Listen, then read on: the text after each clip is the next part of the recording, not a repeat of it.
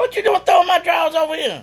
Yeah, them your drawers, ain't? You can fold my drawers up. Who? You? I ain't been fold your drawers, Melissa. You about crazy hell, ain't? I fold your big old damn I ain't drawing, I ain't, I don't fold drawers. I don't fold, I don't fold, I don't fold no drawers now.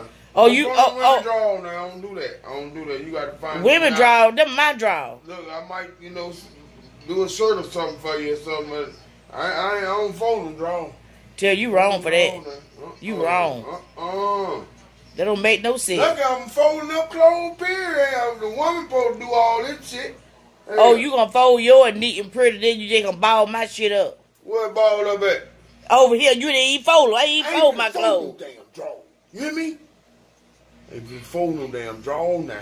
You ain't got to fold my I'm no- taking that. I just get another man to fold Well, it get him, get him. That's all he gonna be for, is fold drawers. Why you say that? Get his ass on out, he fold drawers. Just because you just because you lost a little weight, you fold your little ass draw, but you can't fold I mine. put my hands on your ass draw. You put your hands on